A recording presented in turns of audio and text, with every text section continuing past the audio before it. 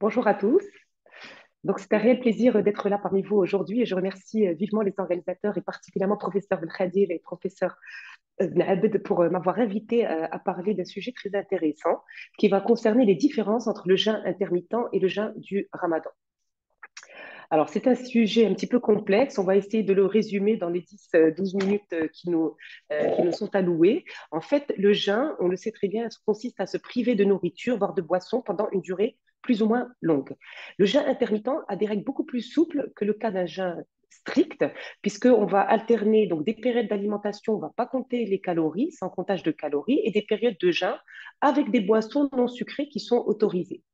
Alors le jeûne du ramadan, c'est un jeûne religieux qu'on pourrait assimiler à un jeûne intermittent sans les boissons, mais avec horaires de fenêtres alimentaires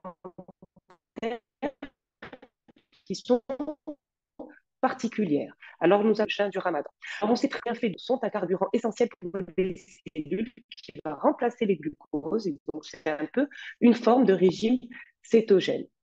Alors, première différence entre les deux, c'est la durée des heures de jeûne, la fenêtre alimentaire et la chronobiologie.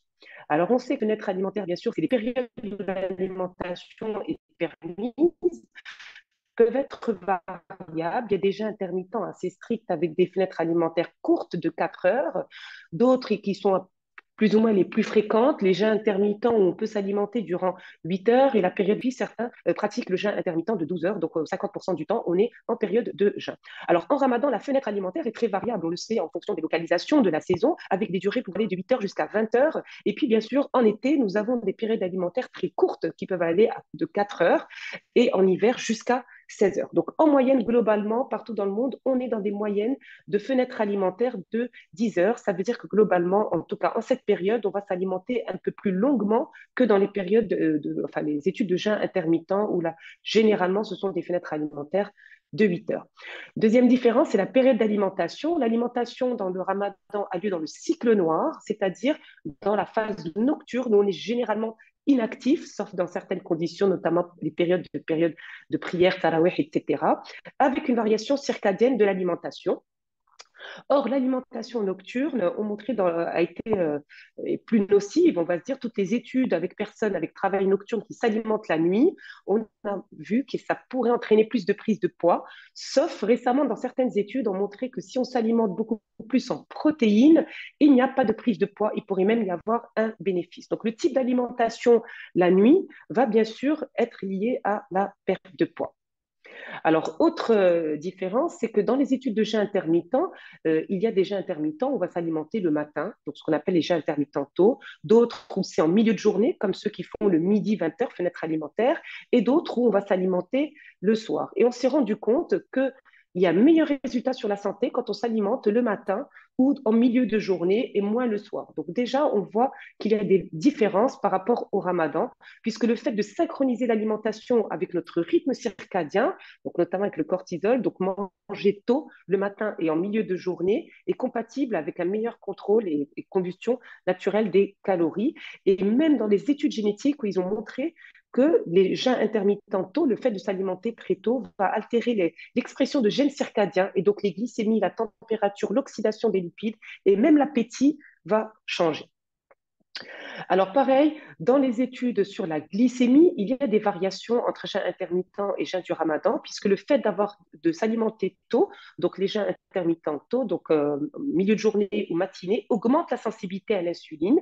Et les études de CGMS chez les patients en surpoids ont montré que les intermittents donc, seront bénéfiques dans les deux cas sur tout ce qui est poids, triglycérides, glycémie postprandiale, mais tout ce qui est glycémie à jeun va baisser beaucoup plus quand on va s'alimenter plus tôt. Donc on voit bien qu'avec le ramadan, on a des alimentations plutôt nocturnes, il y aura peut-être moins de bénéfices sur la glycémie à jeun, sauf si on aura tendance à s'alimenter beaucoup plus tôt, donc dans la période du repas du phto, et de diminuer la consommation au fur et à mesure de la période de fenêtre alimentaire. Donc en résumé, fenêtre alimentaire très variable entre jeûne intermittent et durant le ramadan. La fenêtre alimentaire nocturne est plus néfaste. Il faudrait consommer des aliments qualitativement plus nutritif, notamment les protéines. Le fait d'être inactif pendant la période de fenêtre alimentaire fait qu'il faudrait augmenter l'activité physique durant la période alimentaire.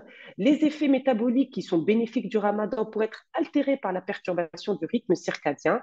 Et ce serait intéressant d'utiliser toutes ces études du jeûne intermittent pour rendre le ramadan plus bénéfique, donc augmenter l'activité physique, le sommeil, la prise de protéines et réduire un petit peu la durée de la fenêtre alimentaire si possible. Alors, deuxième différence entre les deux, c'est la durée de la période de jeûne et la fréquence des repas. Les études de jeûne intermittent sont beaucoup plus longues, ça va de 4 semaines jusqu'à 25 semaines, voire plus, versus le ramadan, où on sait bien que le jeûne est limité à un mois, et le maximum de jeûne de jours jeûnés consécutifs, ça va être 30 jours, donc c'est inférieur à la plupart des études euh, avec jeûne intermittent. Alors, les études de jeûne intermittent, c'est vrai que le nombre de jours consécutifs jeûnés est variable. Il y a des personnes qui jeûnent, qui jeûnent que deux jours sur cinq, deux jours sur sept, ou un jour sur deux. C'est très variable. Et il ne faut pas oublier qu'il y a aussi le jeûne religieux volontaire, la sunna, avec les lundis, jeudis, donc deux jours par semaine, qui est équivalent un peu à le jeûne intermittent de deux sur 7. Alors aussi, la fréquence des repas va euh, varier lors du jeûne. En ramadan, on a un rythme circadien, on s'alimente la nuit, et puis la fréquence des repas est variable de personne en personne. Généralement, c'est deux repas, mais ça peut aller jusqu'à trois repas par 24 heures, tour, dîner et. Et tout ce qui est réduction de la fréquence des repas, avec on sait la réduction des pics insuliniques, a démontré une baisse de la masse grasse. Donc la réduction de la fréquence des repas ramadan ou même jeûne intermittent en dehors du ramadan peut être bénéfique à avoir le même effet de diminution de la masse grasse. Donc, que ce soit le jeûne intermittent ou le jeûne du ramadan, il y a un bénéfice à diminuer la fréquence des repas à deux repas, normalement, maximum, pendant la fenêtre alimentaire si cela est possible. Troisième différence, c'est la restriction calorique et la restriction en eau. La définition du jeûne est variable. La plus répandue dans le monde contemporain, donc non islamique, c'est que le jeûne est une restriction, une restriction de la consommation limitée à l'eau et normalement à certains aliments à basse calories. Mais plusieurs études sur le chien intermittent ont montré qu'on fait des fenêtres alimentaires, mais il n'y a pas véritablement de restriction calorique tout le temps. Et même parfois, les apports caloriques sont même augmentés, ou notamment en gras. Donc, il y aurait un bénéfice, que ce soit au cours du jeûne intermittent ou du jeûne de ramadan, de diminuer légèrement l'apport calorique ou d'avoir des calories venant de nutriments intéressants ou de maintenir de maintenir l'apport calorique et avoir des sources de calories différentes. Et ça, c'est important puisqu'on sait qu'en ramadan, on a parfois tendance à avoir des apports caloriques venant de, des glucides notamment et des matières grasses. Alors, le jeûne du ramadan, il n'y a pas de restriction calorique normalement, mais il y a des restrictions en eau. Donc, on sait bien que là, il y a un stress physiologique qui est différent entre jeûne du ramadan et versus le jeûne intermittent non religieux. Le turnover de l'eau augmente durant le ramadan petite augmentation de l'urée, de la créatinine, de l'hématocrite et de l'osmolarité urinaire. Est-ce qu'il y a un risque de déshydratation? Non. Les, études de Ramadan ont montré une sécurité de jeûne du Ramadan, on le sait tous, chez les sujets, sujets sains. Pas d'effets secondaires, notamment chez les patients, même avec des maladies rénales, diabète, grossesse. On sait bien que ces patients-là sont exempts de jeûne, avec des précautions, bien sûr, nécessaires et notamment une éviction de jeûne dans les maladies un peu avancées. Donc, optimiser la réhydratation durant la période de fenêtre alimentaire, encore plus si c'est un patient à risque, pour obtenir les bénéfices qu'on a dans le jeûne intermittent.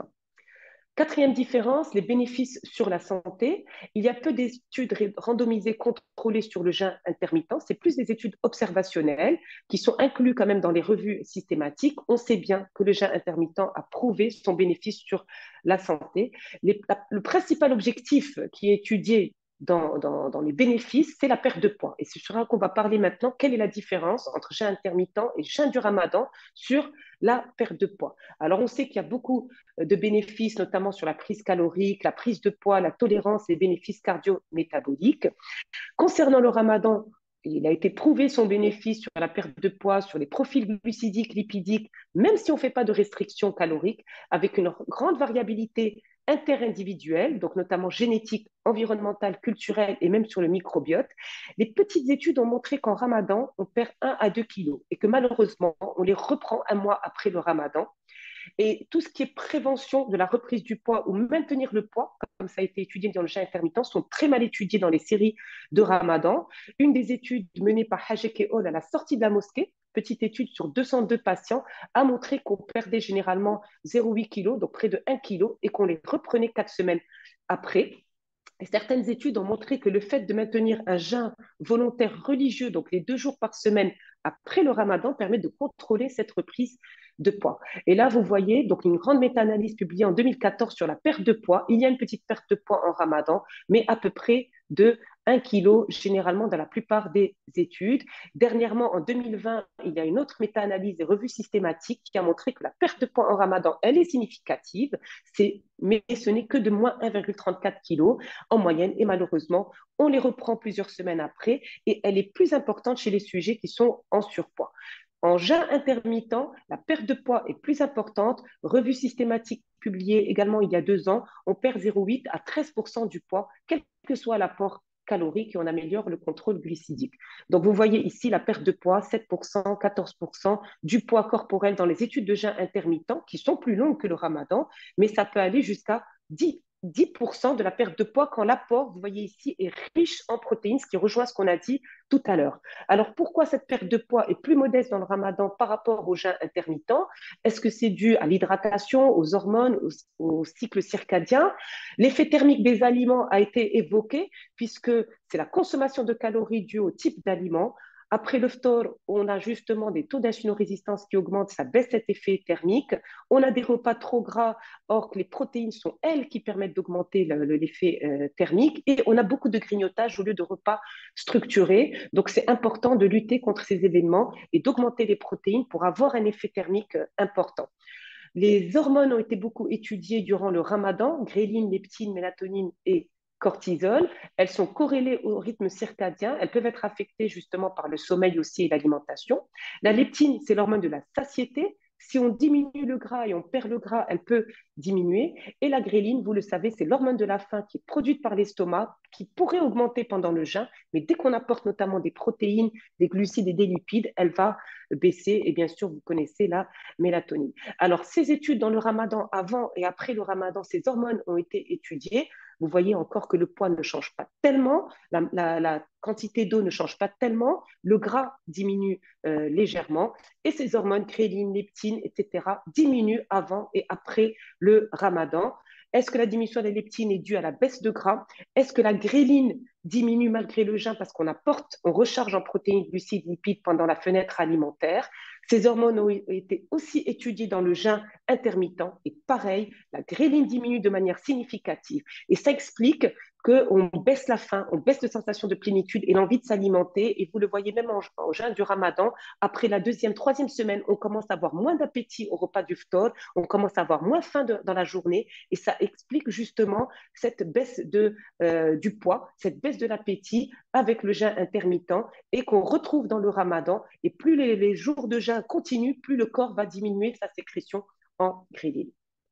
Donc, en conclusion, il y a des différences entre le ramadan et le jeûne intermittent concernant la durée de la fenêtre alimentaire, du moment de cette fenêtre qui est nocturne, des variations circadiennes de l'alimentation, des différences sur la période, puisque en ramadan, c'est malheureusement que un mois, il y a un bénéfice du jeûne sur la santé sur plusieurs paramètres, et même sur les hormones. Et il y a moins de perte de poids en ramadan par rapport au jeûne intermittent. Et si on veut amplifier les bénéfices du ramadan, il faudrait diminuer la fréquence des repas avec moins de grignotage, de maintenir l'apport calorique ou de le diminuer légèrement, de charger un peu plus en protéines et en bonnes calories de raccourcir la fenêtre alimentaire et éventuellement de continuer à maintenir ce jeûne intermittent deux jours par semaine, comme ce qui, est, euh, ce qui est suggéré dans la religion. Et je vous remercie vivement. Je souhaite à tous mes collègues et amis un bon ramadan et euh, je suis disposée à répondre aux éventuelles questions. Merci beaucoup.